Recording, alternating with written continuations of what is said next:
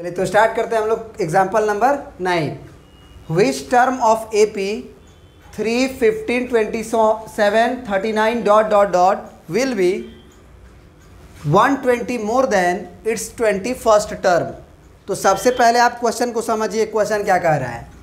एक A P है आपके पास, तीन है, पंद्रह है, सत्ताईस है थर्टी नाइन है, इसी तरह ये ए पी लिखा गया है।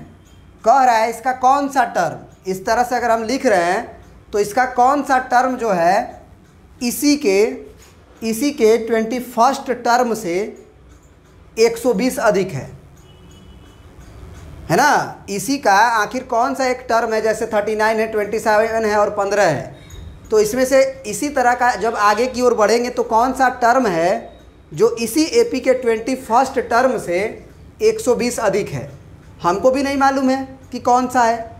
और आपको भी नहीं मालूम है तो उसका एक ही तरीका है, मान लिया जाए कि let nth term nth term be nth term be 120 more than more than its more than its twenty first term मान लिया जाए कि इसका एनेथ टर्म जो है इसके ट्वेंटी फ़र्स्ट टर्म से 120 अधिक है।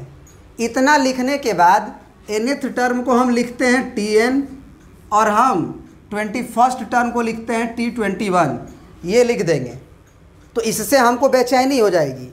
बेचैनी क्या होगी कि क्वेश्चन ने तो बोला था कि जो एनेथ टर्म है, वो इसके ट्वेंटी फ़र्स्ट टर्म से 120 अधिक है। जबकि हम क्या लिख दिए हैं? कि इसका जो एनेथ टर्म है ट्वेंटी फ़र्स्ट टर्म के बराबर है तो अपनी गलती को कैसे सुधारेंगे? हमको इक्वेशन को बराबर रखना है। हम यहाँ पे इसीलिए खड़े हैं ताकि ये दोनों इक्वेशन है बराबर रहे। तो जो एनेथ टर्म है, वो 120 अधिक है। किससे अधिक है 120 तो ट्वेंटी फ़र्स्ट टर्म से। तो अगर ट्वेंटी फ़र्स्ट टर्म से 120 ये अधिक है तो हम क्या करेंगे? इधर वाले में 120 जोड़ देंगे, क्योंकि ये 120 कम रहा होगा। समझ गए बात को? इधर नहीं जोड़ेंगे, क्योंकि ये तो 120 खुदा ही अधिक है। तो दोनों को हमको बराबर रखना है, और बराबर रखने के लिए हमको उधर जोड़ना पड़ेगा। तो अब एनएथ टर्म को हम क्या लिख देंगे आपका? क्या फॉर्मूला हो जाएगा? A plus n minus one into d और बराबर इसको, इसके लिए क्या लिख देंगे? ए प्लस ट्वेंटी डी क्योंकि यहाँ पे हम इक्कीस में से एक घटा सकते हैं, लेकिन यहाँ नहीं घटा सकते हैं। तो यहाँ एन माइनस वन ही लिखेंगे।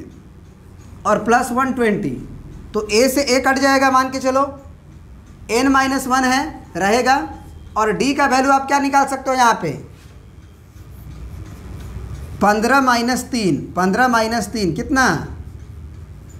बारह।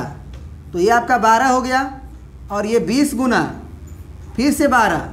कॉमन डिफरेंस यहाँ भी है, और फिर एक सौ बीस। तो ये कितना हो गया? बारह दुना के चौबीस। दो सौ चालीस और एक सौ बीस, तीन सौ साठ।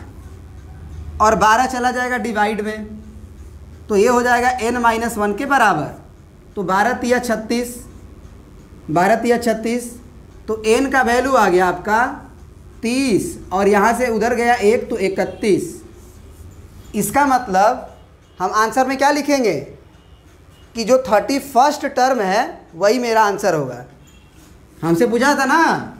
कि कौन सा term which term of this AP तो हम लिख देंगे thirty first term of this AP of this AP इस एपी का थर्टी फ़र्स्ट टर्म जो है वो 120 अधिक होगा, इसके ट्वेंटी फ़र्स्ट टर्म से। प्रिंट कर लीजिए।